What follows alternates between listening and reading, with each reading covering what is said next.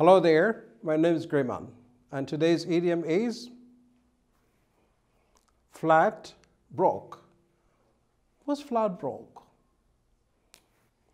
Broke from the word break, broke, and broken. We don't need that one. But look this, this one. Even though it is past, but it is used here as an adjective. When I say I'm broke, that means I don't have money. When I say I'm flat broke, that means I don't have any money whatsoever it is. I haven't got my paycheck. I can't pay my utilities bill. I can't invite you for lunch or dinner. I'm sorry, I'm flat broke. That means I don't have any money, zero money. Don't have even one penny.